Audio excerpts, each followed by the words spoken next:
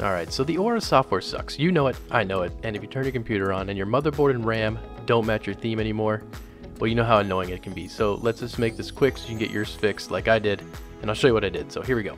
So the first thing we're going to do is go to our search and do the add remove programs so we can get rid of the old Aura software since it's not really working for us anyway. So find it in your apps and features, click it, uninstall.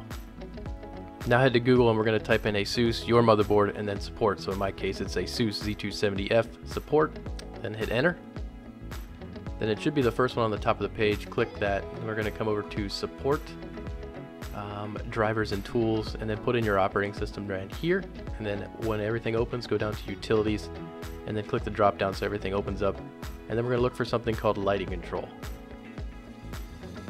There it is that's what we want. ASUS Aura right here, that obviously doesn't work, so lighting control, and we're going to download that one. After it's finished installing, make sure to run the setup, hit the extract all, it's going to install everything to your computer, and then ask you to restart. And when your computer comes back up, you'll have a new Aura icon, and when you click this one, it actually will work, so hey, there you go.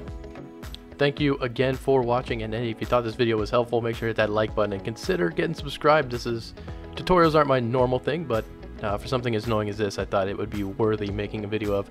Normally we do tech reviews, DIYs, and unboxings, so if you like stuff like that, hit the subscribe button, and we'll see you in the next one. Peace!